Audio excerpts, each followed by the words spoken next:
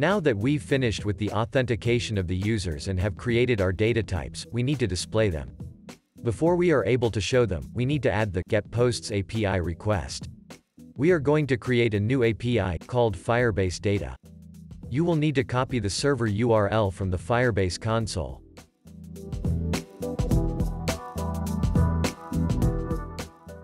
After we create the API, we will also need to create a new API request, called getAllPosts.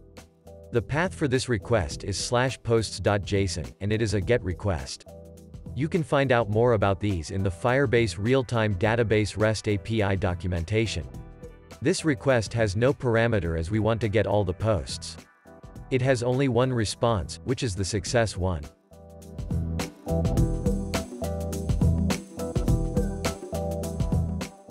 That returns an array of posts.